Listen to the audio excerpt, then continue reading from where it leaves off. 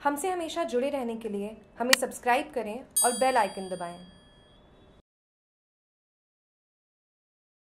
गोगुंदा थाना इलाके के इसवाल में कुएँ में गिर जाने से गुरुवार को एक शख्स की मौत हो गई इस हादसे की खबर मिलते ही गोगुंदा पुलिस मौके पर पहुँची और बॉडी को कुएँ से बाहर निकालने के लिए उदयपुर से नगर निगम की और एसडीआरएफ टीम को बुलाया गया, लेकिन काफ़ी अंधेरा होने के चलते शव बाहर नहीं निकाल पाए इस रेस्क्यू को शुक्रवार सुबह फिर से शुरू किया गया।